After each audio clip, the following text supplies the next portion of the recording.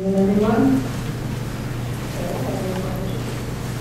Um, How many, how many of you have heard of data and safety monitoring boards? Good. How many of you have participated in data and safety monitoring boards?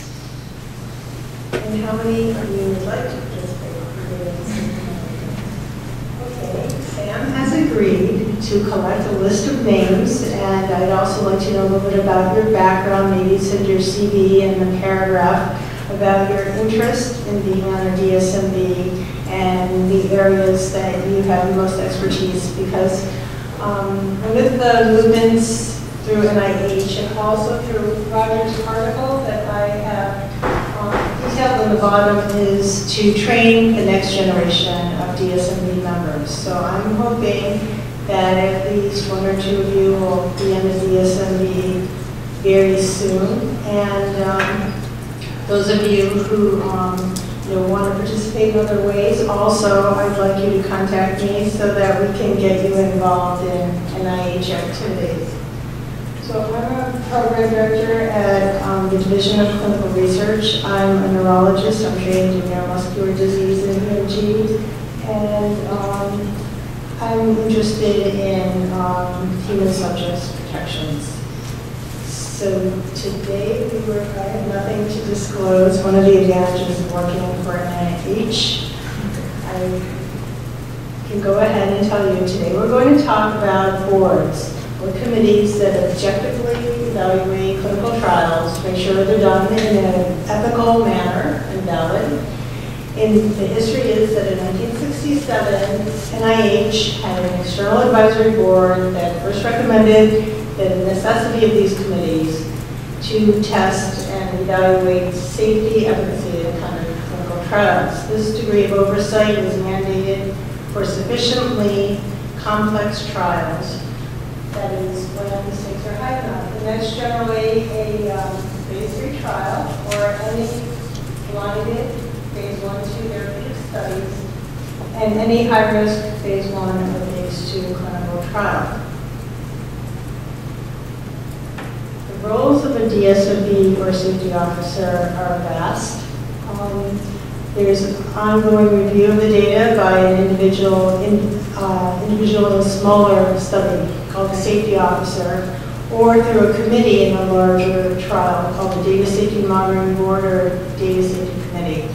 This ensures the trial can continue without jeopardizing patient safety, ensures that we hold up to the highest scientific and ethical standards, ensuring high quality, validity, scientific integrity, and also um, assist in determining if any of the treatment procedures should be halted, altered, etc.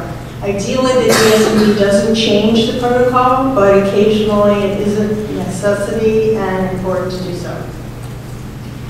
The NIH responsibilities. Well, the reporting structure, this is a common misconception. The DSMB does not report to the investigators. The DSMB reports to NIH. It's really the director of NIH, but through those of us who work for NIH. And NINDS is responsible for the oversight of data and safety monitoring to ensure safety and quality, and that monitoring is timely and effective. We must ensure that there is appropriate expertise to inform the Institute of recommendations that come from these monitoring activities. The DSMB membership, um, basically NINDS appoints members to DSMB. The good news is we also pay for the DSMB, so you don't have to worry about putting that in your budget.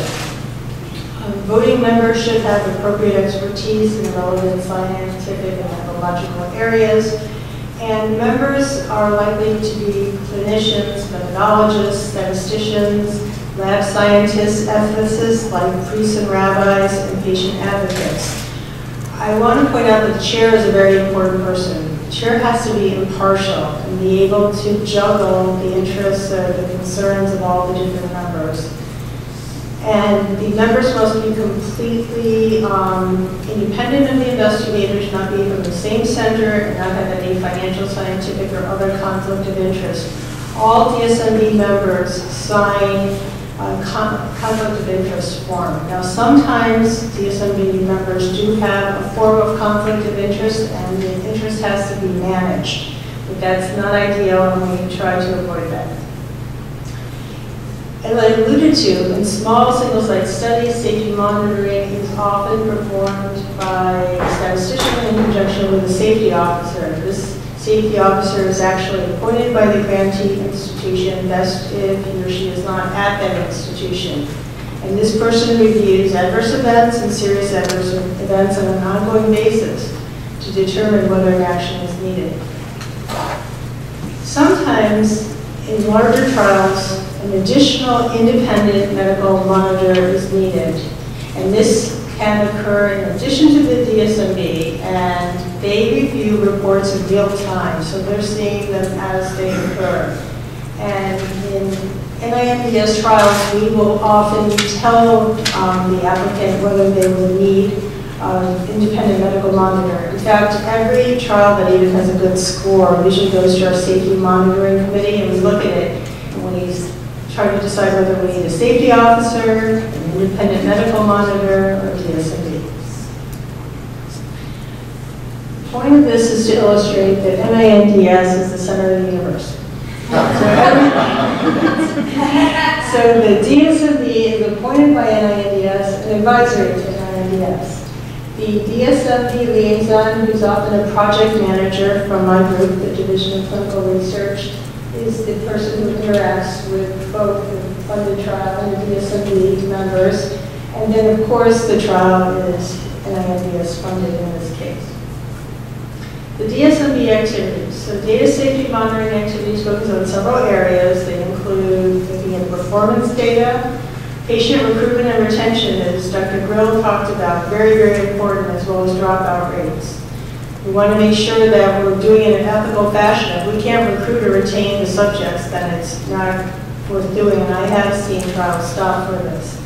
They look at safety reports, they consider treatment monitoring, interim analyses that are pre-specified, and stopping orders. The DSMB members are also important, uh, responsible for the importance of the confidentiality of the data. This is really, really important. Nothing is to be discussed outside that room. And that is the most important thing I say today. Recommending to DS, uh, NINDS whether to continue the trial or conclude it is obviously a big, big point. Usually the trial will continue unless there's something really egregious or outstanding in order to get the maximum information, but sometimes the trials are put on hold. Monitoring patient recruitment retention rates, as we talked about, are really important to ensure that the end goals for recruitment are met. The DSMB can request to see blinded and unblinded data. The DSMB can request reports and can advise the institute to start, stop, or modify trial protocol. So this is the general design. So there's usually an open session followed by a closed session. In the open session, the topics include patient accrual, compliance with the protocol, any problems that are encountered, and the data here is blinded and presented in an aggregate fashion.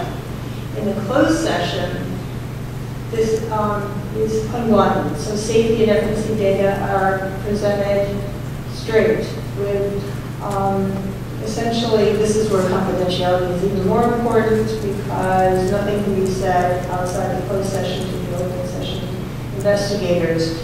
And they will often recommend, but not make a decision, whether to start, stop, or modify a trial protocol. This is the overall meeting flow. In general, there is a closed executive session where the DSMB members and NINDS DSMB liaison start to discuss, for example, in the first um, session, the trial protocol. And then there'll be an open session where the investigators and the um, NINDS program directors, as well as the others that were in closed session, participate. And then there'll be a second closed session with, in addition, the study statistician will join the liaison and the DSMB members and sometimes there's an open session where there's a summary of what's been discussed, but not always. So the first meeting is really, really important, and we try to do it in person. And the point here is to discuss the protocol and establish the monitoring guidelines, which should be pre-specified. And then afterwards, there are biannual meetings, usually one in person and one by conference call. And at this point, accumulating safety data is reviewed and the conduct of uh, interim analyses are performed. In addition, we have had emergency meetings called by the DSMB or NINDS. So this can happen at any time. So if you sign up to be on the DSMB, you have to be aware of that.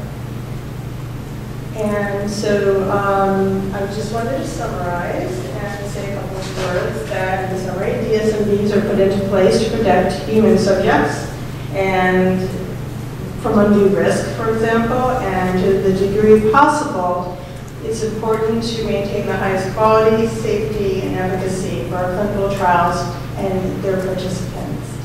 Fortunately, Roger has agreed to review a few case studies to bring it to light, and we can have a little bit of a conversation. Thank you very much.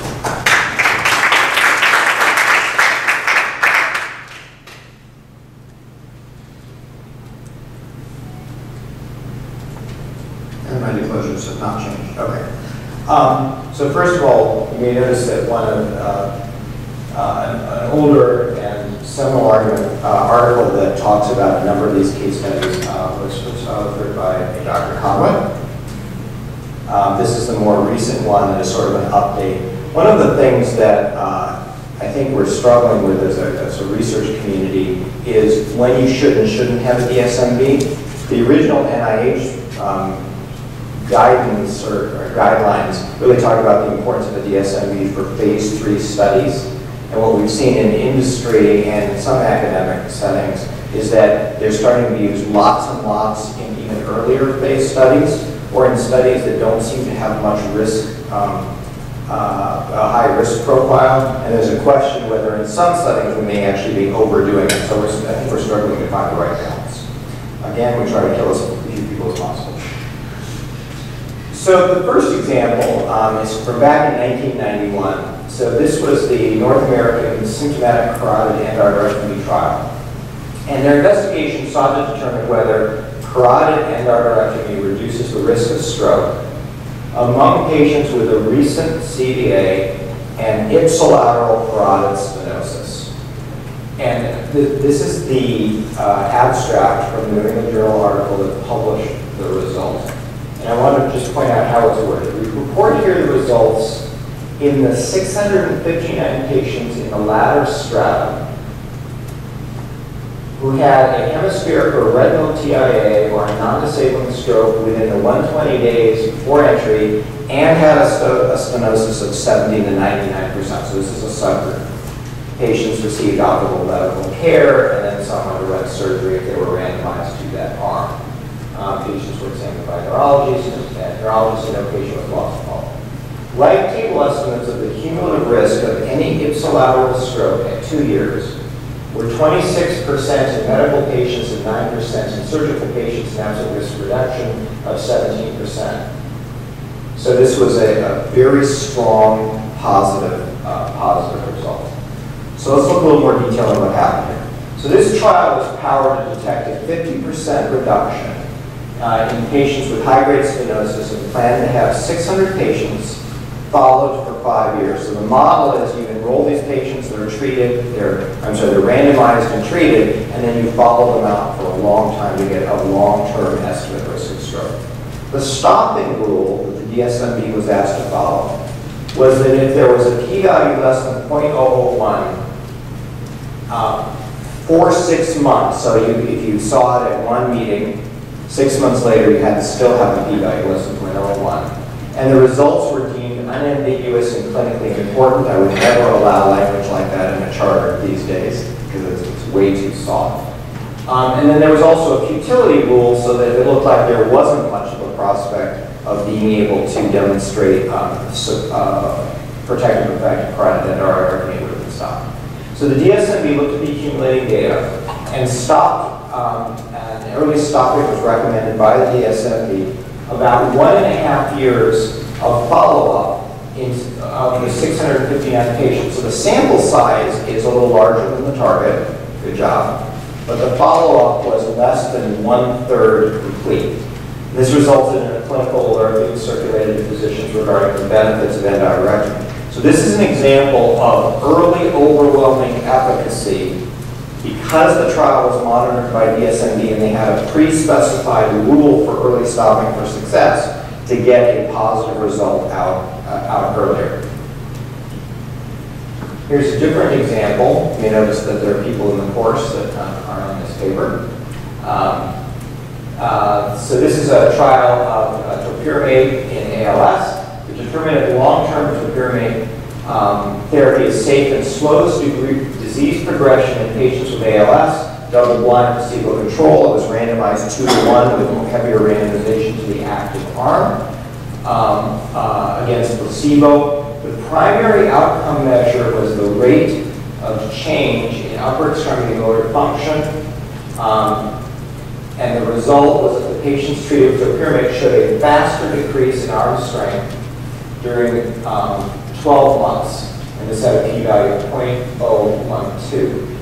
Um, and then they go on to show that it didn't affect some other things. Okay?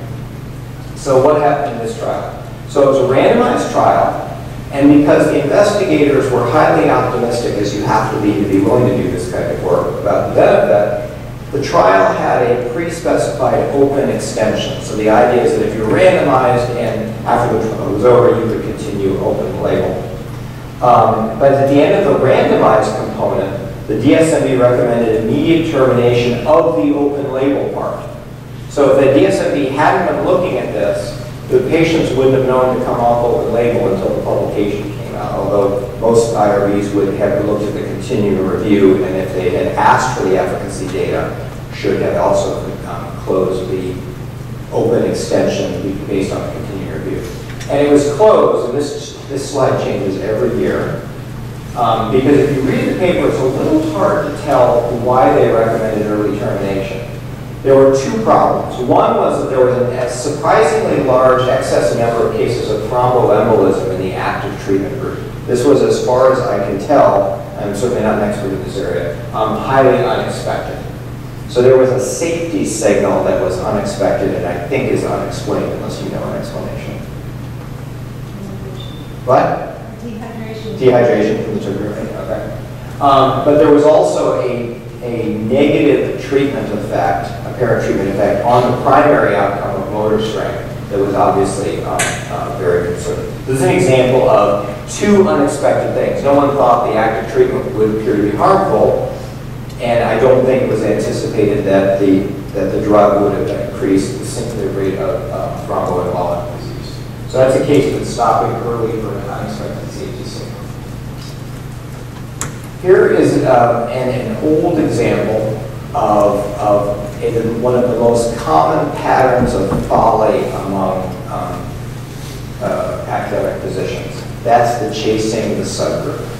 Okay? So this was a study of, of uh, antiplatelet agents, uh, tolipidine, I don't know how to say it, clopidine, I can't say that, um, on the risk of stroke or death, and it was being compared to aspirin. Uh, the medications were randomly assigned to three, over 3,000 patients with TIAs or mild persistent focal cerebral retinal ischemia, terminology I don't see anymore. And they were looking at the three-year event rate for non-fatal stroke or death from any cause. And it was 17% for the experimental agent and 19% for aspirin. So comparing 17% to 19 seems really close.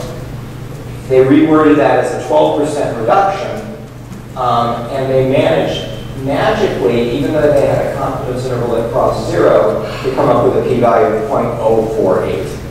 That's because the statistical method used to calculate the p-value wasn't exactly the same for the confidence interval. Um, and then, in looking uh, at these data, they concluded that the, clopidine was somewhat more effective than aspirin, although the risks of side effects were greater. So this is sort of a mixed conclusion.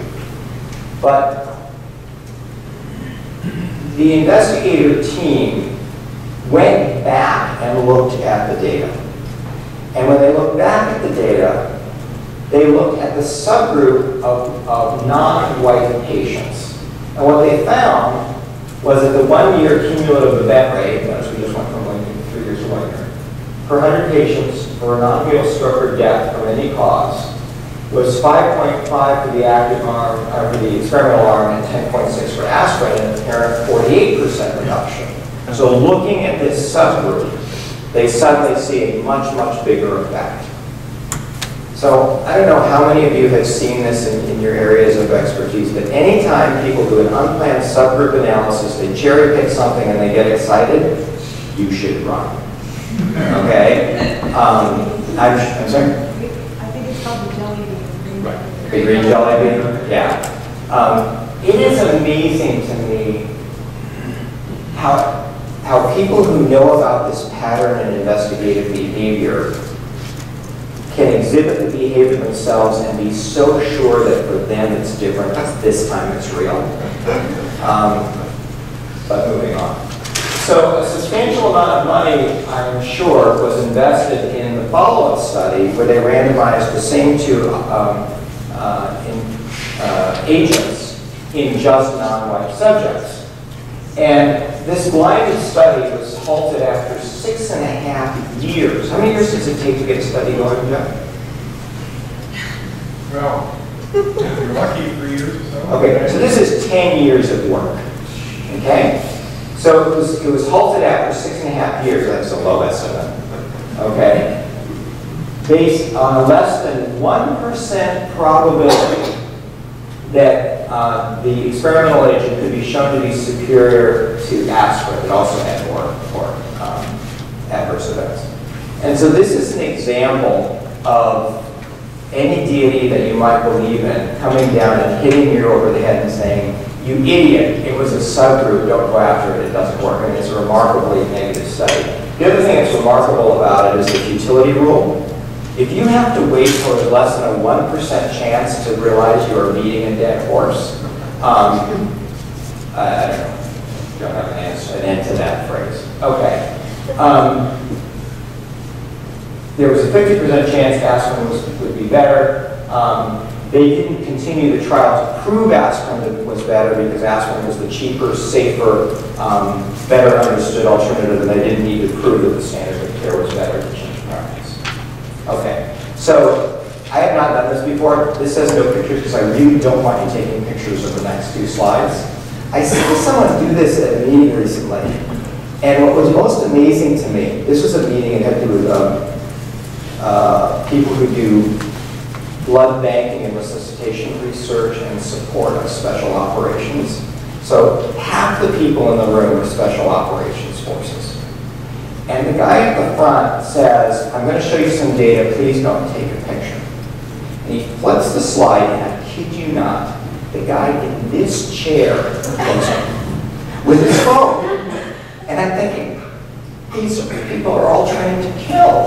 Are you listening? Okay.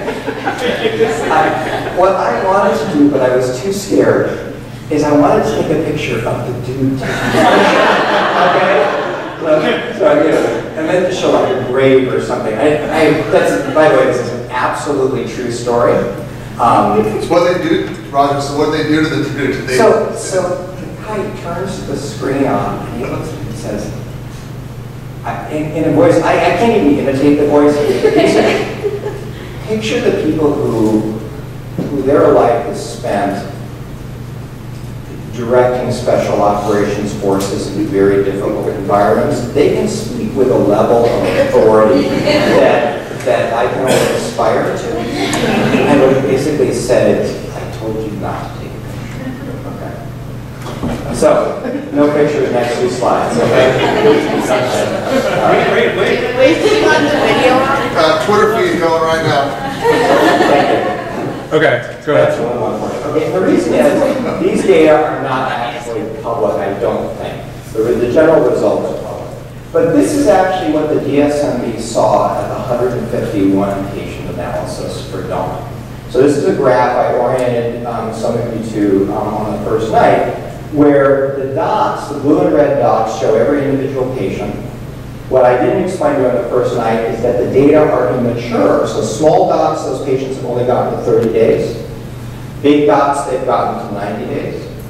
There's fits to the curves, the blue being higher than the red says that the model-based estimate of the expected utility-weighted MRS is higher in the um, thrombectomy group.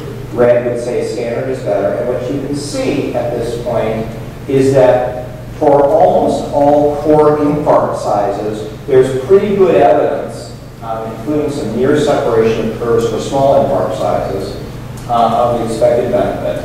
And then the curves come together out towards 50. The pre-specified rule for this study was that it was not allowed to stop for efficacy at 150. It could only stop for futility. Okay? So the, the, the text at the bottom is a slight modification of the instruction we got from the, the Statistical Analysis Center, which said not think what do you think of these data. It said this is what you should do. Okay? And this is part of how DSMB acts when they um, remain faithful to the pre-specified trial design. At 200 subjects, this is what the data look like. And now you have no overlapping of the curves. And you have um, model-based estimates that show um, very strong evidence of efficacy, as was discussed in the evening. You may notice um, that there's relatively sparse data out to the very large infarct sizes. But what's interesting um, is that the curves show you the, the relative lack of a effect of infarct size, at least out to about 30, maybe even 40 um, on the expected MRS. Remember, these patients are carefully selected for mismatch. Okay, so it's, it's not that big infarcts aren't worse than small infarcts. It's that um, infarcts selected for mismatch behave differently than those that are unselected for mismatch. I just thought I'd show you what the DSMB actually looks like in, um, in a recent trial. Okay. Thank you. Okay. Um, so conclusions. First of all, you never actually know as much about a trial going in as you, as you expect. So people spend time designing and working on clinical trials, as you've all learned, working on your own projects, because they are incredibly enthusiastic about what they're studying. They're very hopeful. Because if you didn't do that, this would just be masochism. But what that means is they tend to overestimate the chance of benefit, underestimate the chance of harm, and overestimate their confidence in all of the different things you might predict about the patient population, the outcomes, and the way the patients respond uh, to therapy. So the purpose of the DSMB is to stop the trial early if it should be stopped because of overwhelming benefit, or evidence of harm, or futility, or because there's other evidence out that means that the, the risk-benefit basis for the trial is no longer valid, like another study just read out that shows that this is no longer an important question um, to answer. So the DSMB needs to actively monitor efficacy, safety, futility. They need to, whenever possible, remain um, uh, uh, loyal to um, the original trial design and, and ensure that the original trial design remains appropriate on the clinical side. And if we do, though, if we do this, it both helps minimize the risk to the human subjects, and it helps ensure that the resources that we spend on clinical research are wisely spent, and we don't continue to spend money when it's either not the right thing or a good investment uh, moving forward. Great. I will stop there, and I'm happy to take any questions on DSMBs or uh, other war stories. I'm sure Rapid probably do so. Thank you very much.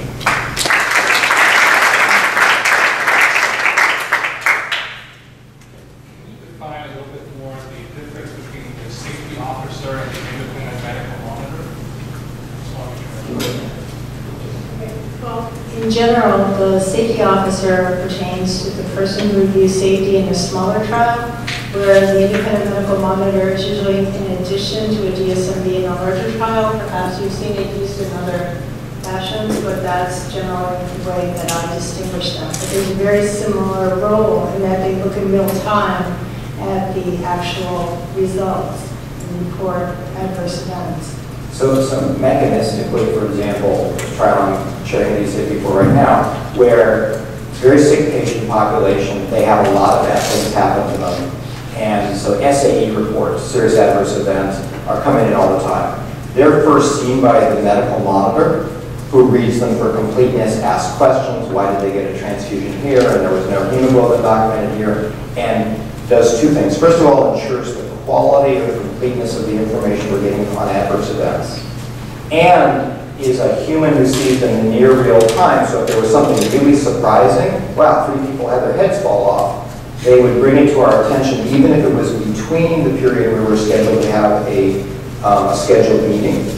Um, so they're, they're very important. Now, they are often employed by the CRO or the company, so they often don't have, and this is different than the NIH model, um, so they often don't have the independence, um, but my personal experience with them has been that they are very good and diligent. Sometimes it's, it's uh, the phraseology there is medical safety monitor. And an independent medical monitor, sometimes that also means for like a smaller, lower risk study, the whole, the whole deal, they function more like a, a DSMB for a, a smaller study. I've seen that. I have, I have an independent medical monitor for a cluster randomized trial, the Dix-Hallpike maneuver. You know, if a bunch of people's heads fall off because of the Dix-Hallpike maneuver, he'll shut down our study. But we don't have a medical safety monitor reviewing adverse events because sometimes people get nauseated because of the Dix-Hallpike maneuver. However, in the Rampart study of midazolam and status epilepticus, very sick patients who were coming in and getting benzodiazepines in the ambulance, there was a medical safety monitor who was reviewing adverse effects, people who got intubated and things like that, and determining whether those were attributed to the intervention. But there's also a separate DSMB that was regularly meeting and looking at all of the larger bits of data in terms of all the safety events. So maybe this will make it clear. The um, minimum level of monitoring is PI and IRB. And if you move up having a safety officer in addition to PI and IRB, and then in a larger trial, a DSMB, and then the highest would be a DSMB plus an independent medical monitor. I actually have a handout on that that I can put into base camp. That might be helpful. Yes? You mentioned about conflict of interest.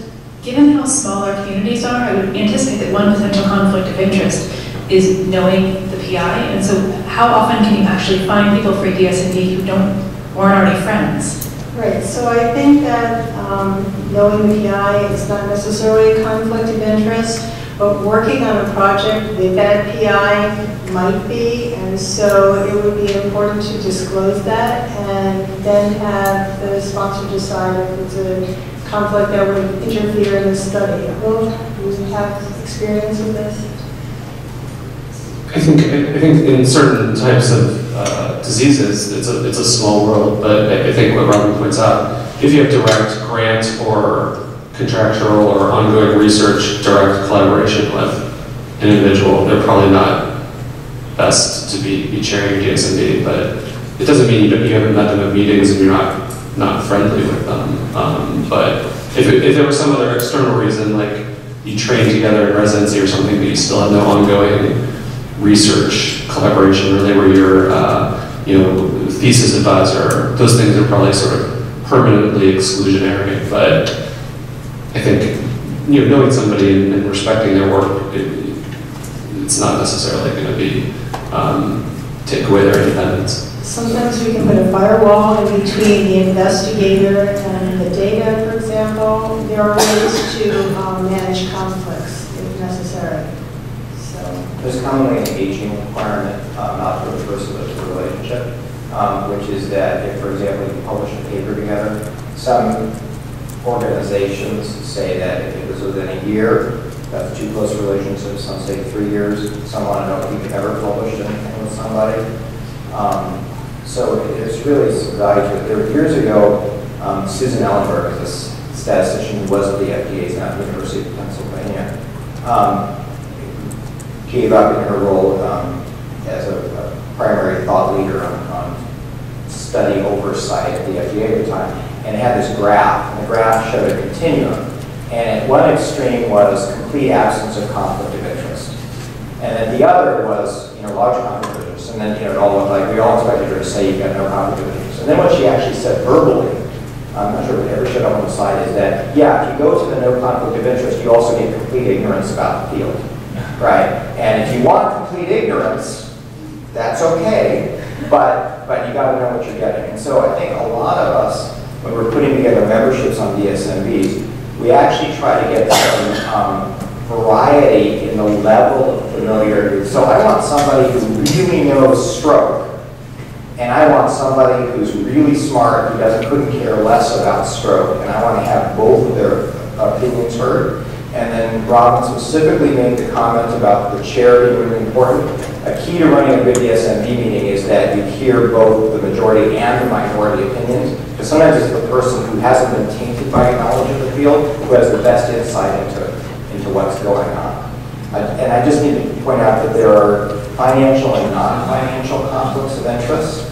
And over the years, my increasingly strong impression is that it is the non-financial ones that are the most biasing. So I am much more worried about somebody who has a long-standing academic feud with somebody on the trial, okay, or is running a competing trial, because then I never want this one then, because if that one reads out first, my 10 years of work is done. That is much more worrisome to me than the person who may have invested once in a company that does a similar product. I want to know about both, but they are different. But this idea that, that academics are pure, oh my God. Okay.